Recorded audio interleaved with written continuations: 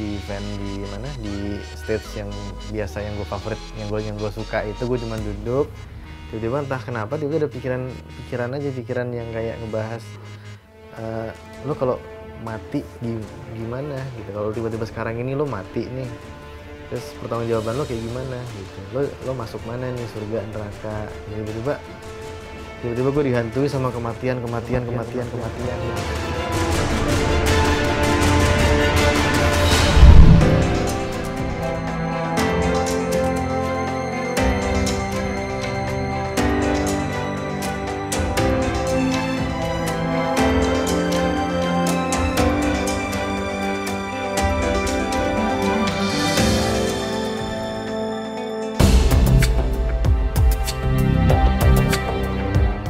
Dimas Wibisono, dunia malam bukan hanya sekedar pergaulan, melainkan sebuah mata pencarian. Berprofesi sebagai seorang event organizer, ia sukses dalam menciptakan berbagai festival dance besar. Jadi nih, kapasitas tempat kita 2000 orang sob. Dan jam 2, pas klimaksnya nih, kita bakal keluarin nih seksi-seksi dancer, boy. Ya enggak? Dan bukan itu aja sob. Nanti kita bakal bagi-bagi free shot buat yang berani naik ke stage. Pasti keren gak tuh? keren keren keren keren Gimana buat lo? oke banget tuh tapi gue sih cuma butuh expose sponsor buat gue aja karena kliennya pasti bagus banget tuh Nih gue bawa beberapa contoh desain flyer gua. Coba lu pilih, kira-kira mana menurut lo yang paling bagus? Keren keren banget nih gue sih lebih cocok yang ini ya menurut lo gimana Gak aja lu, reparty keren. Emang ini selera gue juga sebenarnya.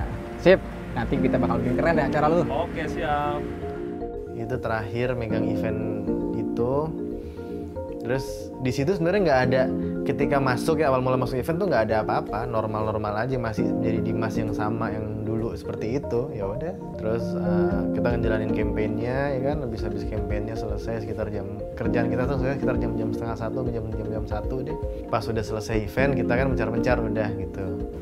Mencar-mencar udah akhirnya menyendiri dia tuh di di stage yang gue suka dengan musik-musiknya gitu. Gue menyendiri ngeliatin aja terus udah. Out of nowhere tiba-tiba ada ada muas tiba-tiba gue bermuas muasabah sama diri gue sendiri gitu.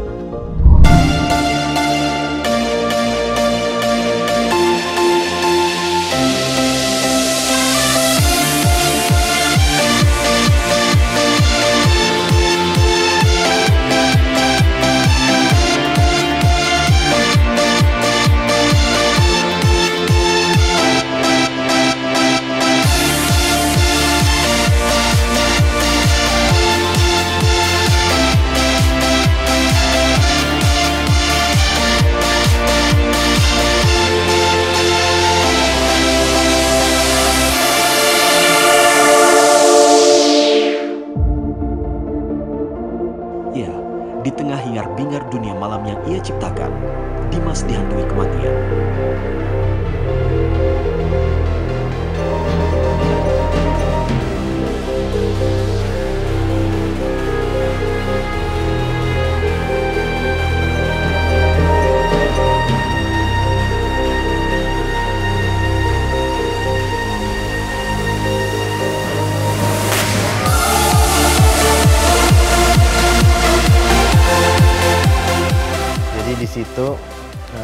Ada apa-apa awalnya ketika masuk ke event itu biasa aja.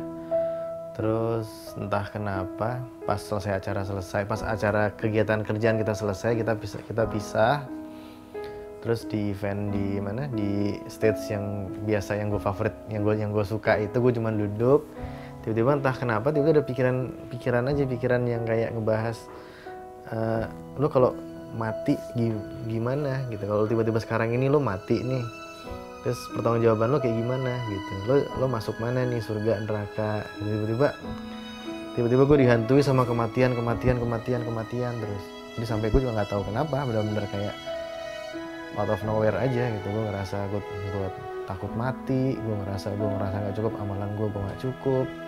Gue ngerasa gue udah mempermalukan kehidupan orang tua gue gitu dengan rasa gue nggak akrab sama orang tua gue gitu tuh muncul di malam itu di fase itu gue muasabah lah sekitar nggak nggak muasabah juga sih orang tempatnya kayak gitu. Gue cuma bengong bengong mikirin aja apa pencapaian-pencapaian aj- ajaib pencapaian gue itu nggak nggak ada yang menegakkan gue ke, ke akhirat. Nggak ada yang membuat gue uh, dekat dengan orang tua gue nggak ada yang membuat diri gue menjadi lebih lebih baik. Gue selalu mengharapkan uh, ridho dari makhluk bukan dari Allah kasarnya seperti itu tuh muncul terus gitu Dimas, Dimas, Dimas panutanku. Keren banget sob acara lo. Gak nyesel gua open table malam ini. Thank you sob. Enjoy ya. Oke siap bos. Pokoknya kalau ada apa-apa kabarin gue aja. Oke siap. Perlahan, ia mulai sadar bahwa kebiasaan di dunia malam menyeret orang lain berbuat maksiat. Ya itu dari seperti itu. Gue mau gua mau bawa orang ke kemaksiatan. Kasarnya seperti itu kan? Bener dong gitu. ada nggak ada nggak baiknya dari bikin seperti itu? Nggak ada. Gue bawa orang ke kemaksiatan. Gitu. Gue sampai ngesetting eh, mau bikin event nih gue sampai ngesetting. Kan yang nentuin botol keluar dari gue.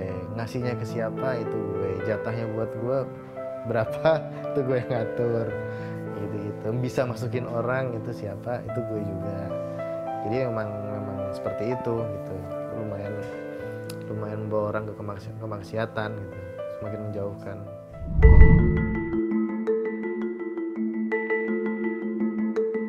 Semuanya dulu tak ia sadari, karena dunia malam adalah mata pencarian dan hal yang sangat ia cintai.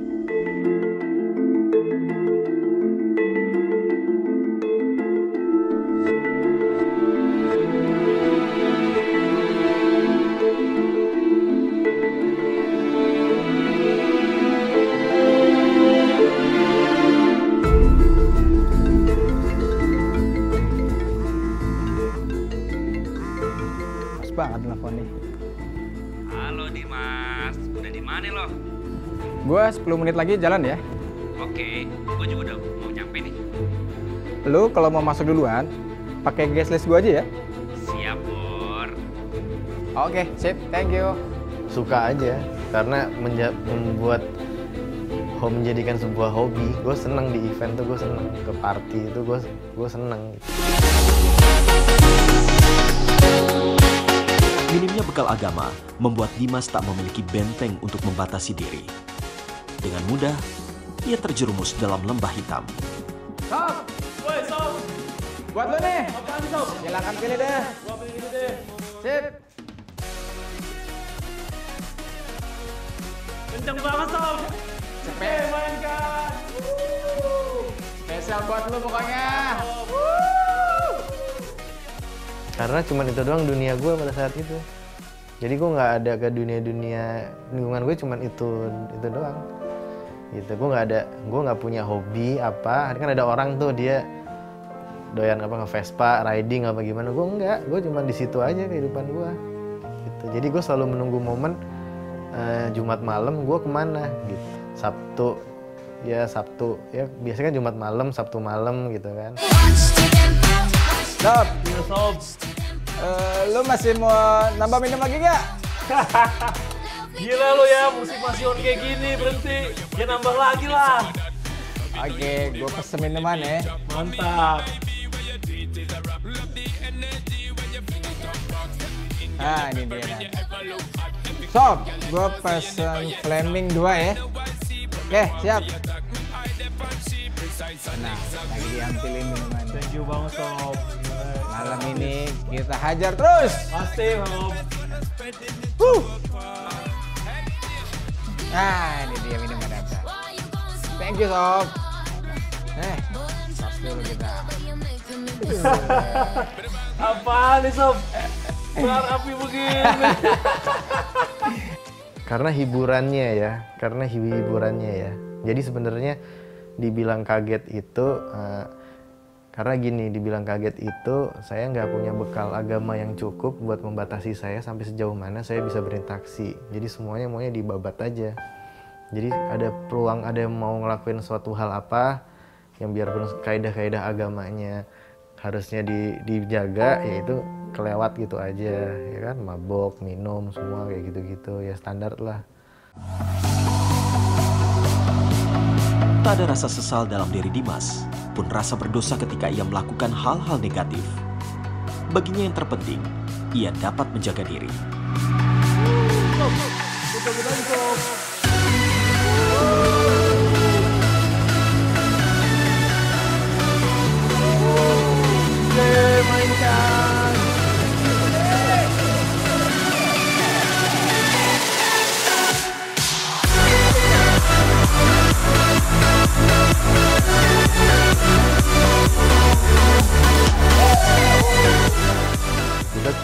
Misalkan di saya karena kehidupannya udah berjalan seperti itu, jadinya hal-hal yang harusnya nggak nggak baik itu akhirnya menjadi baik aja, biasa aja gitu. Jadi nggak ada masalah. Gue mau kayak gini, gue ini nggak apa-apa. Yang penting gue bisa menjaga diri kok.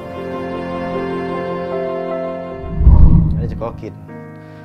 Karena mau nggak mau harus di harus mau nggak mau dalam kondisi di lingkungan harus harus nyoba. Cekokin itu juga nggak yang langsung dipaksa. Jadi di minuman kita dia dimasukin terus pas diminum kok agak beda gitu.